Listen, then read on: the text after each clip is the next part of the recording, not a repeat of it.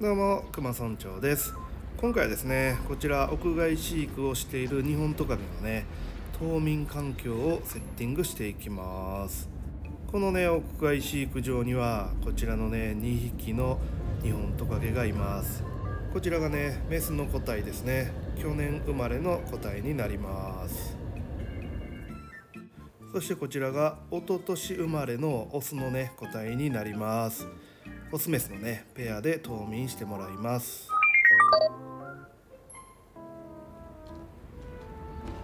飼育環境はですね、まあ、こちら、まあ、ずっと使ってるバスキング用の石ですね、まあ、この下にね結構いることが多いんですけどもシェルターと置いてですねこちら落ち葉を使っていきます。この落ち葉をですね、ま、しっかり、え洗浄いたします、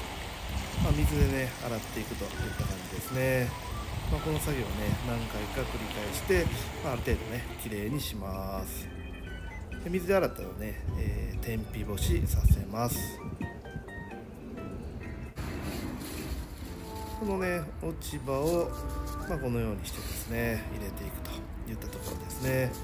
まあ、この下なんかで冬眠するのかなといったところでもあるんですけども合わせてね水苔もね入れておきます。まあね冬眠する場所をね選んでもらえるようにしてるというところですね。そしてね忘れていけないのがこの水入れですね。飲み水はいつでも確保しておきます。まだね10月中旬で今すぐね冬眠に入るわけではないと思うんですけども、まあ、このようにね冬眠準備をしておけばですねまあ、えー、気温が下がって、まあ、大体1ヶ月ぐらいに冬眠に入るんじゃないかなと思うんですけども、まあ、いつでもねできるようにしてるといったところです。この状態でね最高気温が20度をね下回ってくると、まあ、冬眠にね入っていくんじゃないかなと思います。ということでね冬眠前の最後のね餌を与えます。こちらコオロギですね、まあ、結構数を多く用意してですね、まあ、こちらの環境に投入しておきます。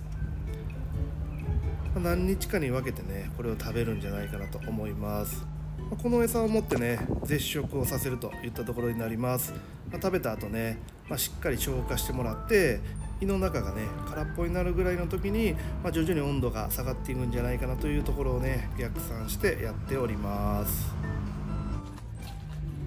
ま最後はねこういった日よけを置いて冬眠体制に入らせるといったところですね。ということで今回の動画はこれで以上になります。またね。この日本トカゲの様子をどんどん発信していきますので応援の方よろしくお願いします。それではまた次の動画でお会いしましょう。